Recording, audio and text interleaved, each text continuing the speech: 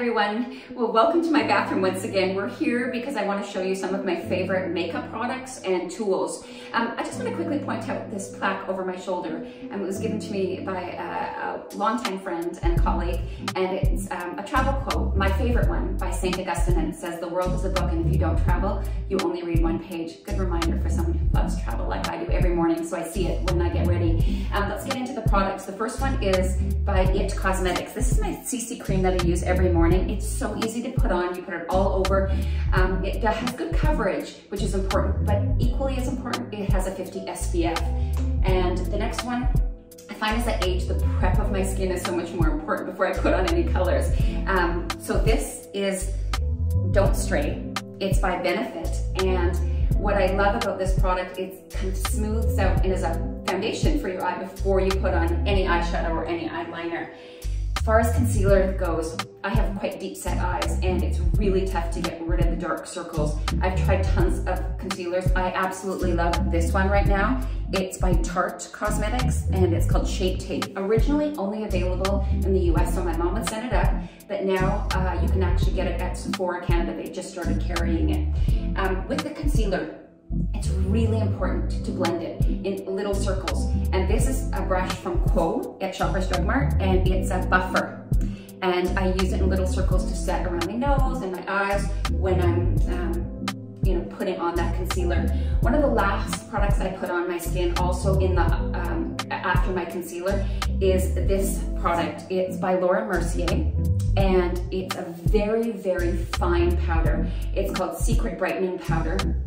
And as I age, you know, those fine lines, things settling in, in there is, just makes it look so much worse. So this is the powder that I use to do some setting. I'm not showing you much in the way of color, but I did want to share this. It's also uh, found at Shoppers Drug Mart. It's their organic Nude by Nature line, and this is actually their nude lipstick. And so I'll just show you um, the container but I use this virtually every day. It's smooth, it stays on well. Um, it's just a, a beautiful everyday type color. As far as mascara, I'm a bit high maintenance. I use two. I use um, this one called Liquid Lash Extensions by Thrive. I'm not sure you can see it there. And I also use this one, Lash Discovery. So the Lash Discovery, I'm gonna pull it out. It has a very, very tiny brush which is really important for me because it makes putting it on my lower lashes so much easier. The reason I love this Thrive um, is because it doesn't fall. Doesn't fall onto my lower lid, uh, uh, oh sorry, my under eye, or get caught um, above. I have quite long lashes, so it sometimes touches and I get those little dots. This, this I can avoid that. Um, I wanted to show these. These are really great for travel. They are by Neutrogena. They're an all-in-one makeup remover because starting with a really clean face is so important. Lots of packaging. I know you can buy them in the individual pull-ups at 20 or 25 at a time, but these for travel are really fantastic. Sometimes I even use them on the plane. Um, the other thing I just quickly wanted to show you are three tools that I absolutely love and use them every day because goodness knows I find strays. These are Tweezerman angled tweezers. They're really great. Um, and these two things for blending is so important. So just a very basic sponge, triangle sponges, you can buy that at any drugstore.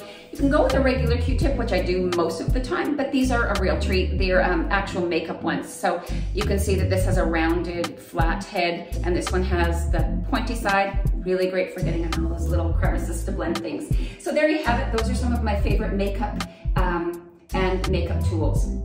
Thanks for joining me.